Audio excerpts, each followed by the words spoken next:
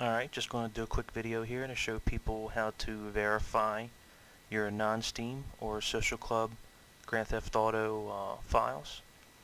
All you gotta do is right click and uh, go to open file location.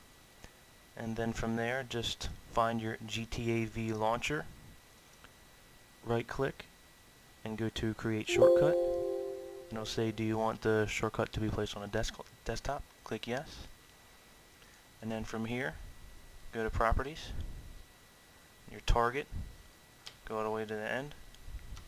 After the end have a space and dash. Type in verify. Apply. Okay. Double click on that. And that's all you gotta do. It's going to have you log in you know, once or twice.